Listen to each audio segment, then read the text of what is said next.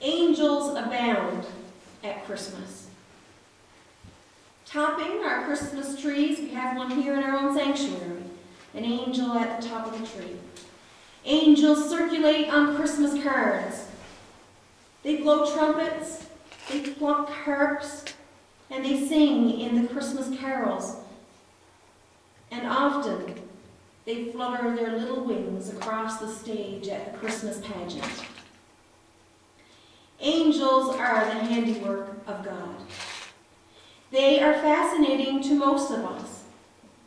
God created them to bring messages, to minister, to encourage, to warn, to avenge, and to protect. Angels are all around us. They watch over us.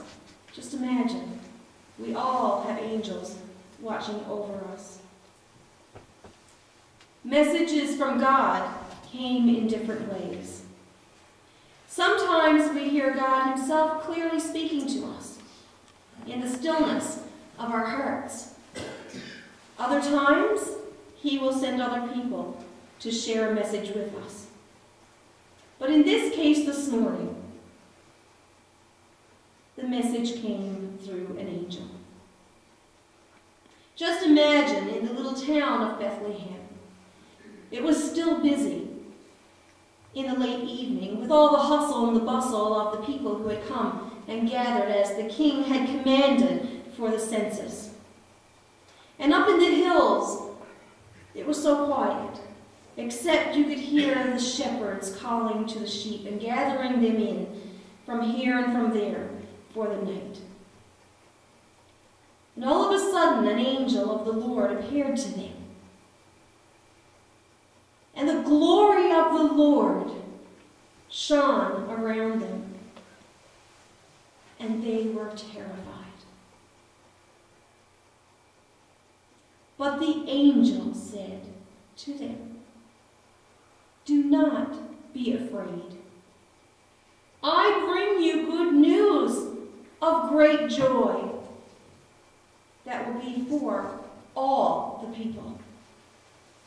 Today, in the town of David, a Savior has been born to you. And he is Christ the Lord.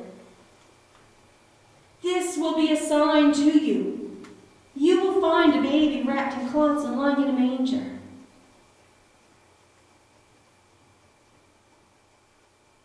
Can you imagine the glory of the Lord shining around? I'm sure that the shepherds thought they were the only one in existence. As the glory shone from those angels, and they heard the angels speak. Good news of great joy. Not for one person, not for one town, but for all the people. And that meaning is the same, even for us today. 2,000 years later and counting. This is indeed the most important event in human history the birth of Jesus Christ. Luke 2 and 14 tells us that the host of angels announced his arrival. Glory to God in the highest, and on earth peace, goodwill towards men.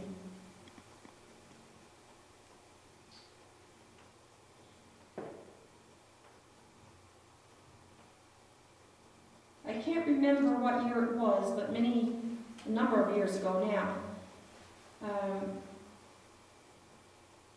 in the old sketchbook for the Home League, uh, many people would send in their programs that they would be published in these books. And a woman from Birchy Bay, actually, in Newfoundland, sent in this uh, poem. And it says, He came. And I want to share these words with you this morning.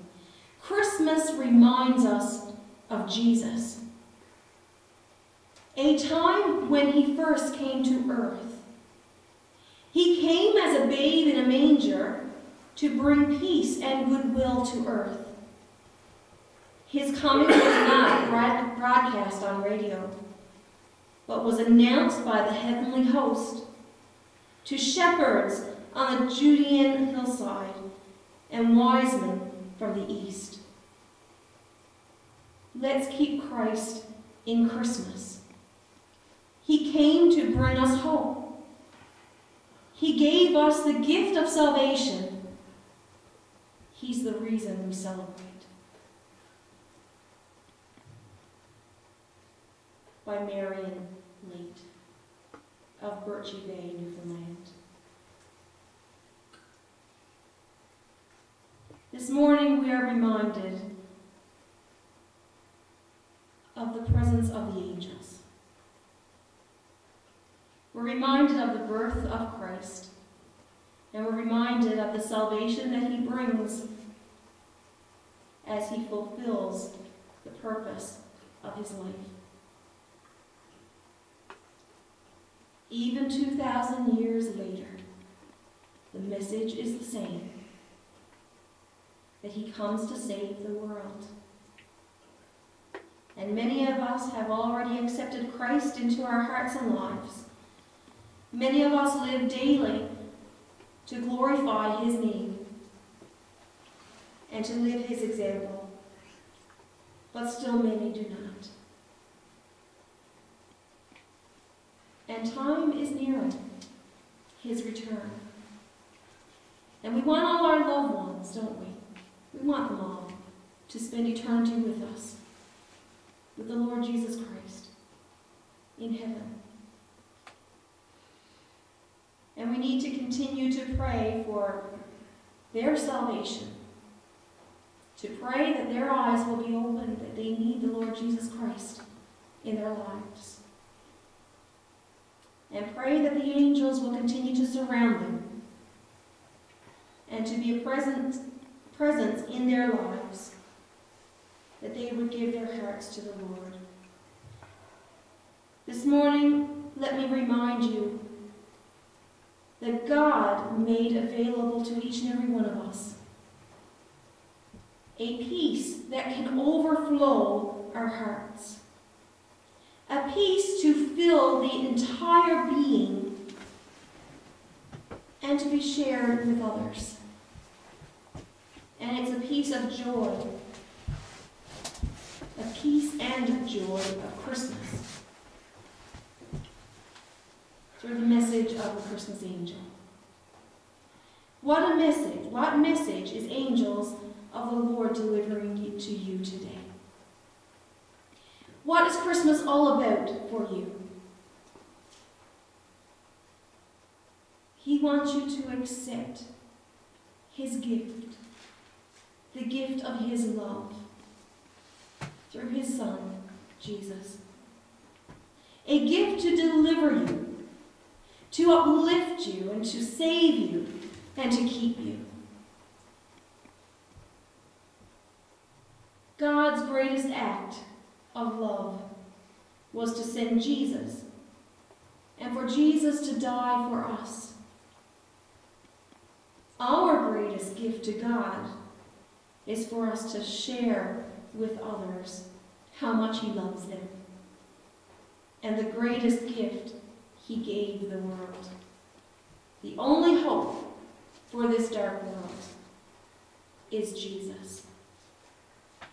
The birth of Jesus Christ should motivate us to praise and worship God, just as the angels sang, Glory to God in the highest. Angels from the realms of glory, wing your flight o'er all the earth. Ye who sang creation's story, now proclaim Messiah's birth. Come and worship. Come and worship, worship Christ, the newborn King.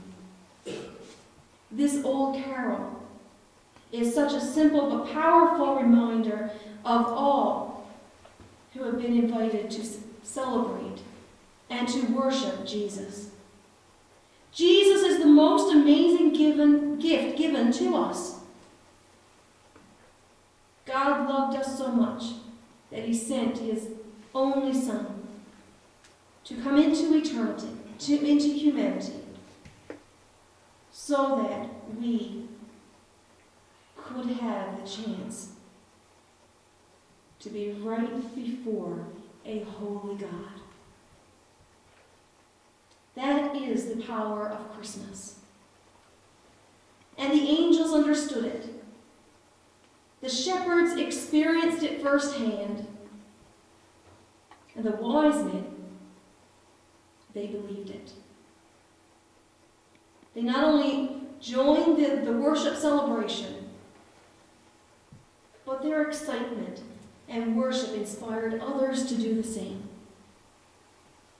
This Christmas, let our worship be so authentic and exciting that we would draw others to come and worship. To come and worship. Worship Christ, the newborn King.